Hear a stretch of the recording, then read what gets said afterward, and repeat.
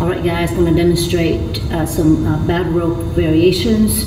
Just remember to keep your elbows close, strong core tight, breathe, spine in line when you're doing core technique.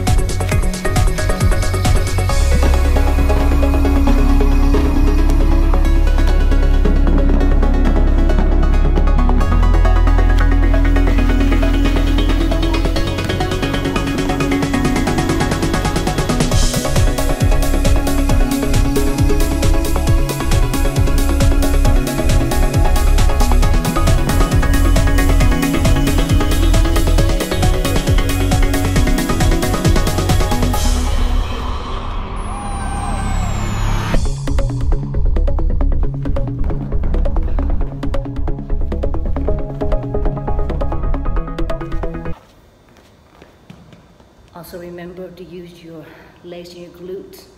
Stay down as slow as you can when handling the rope.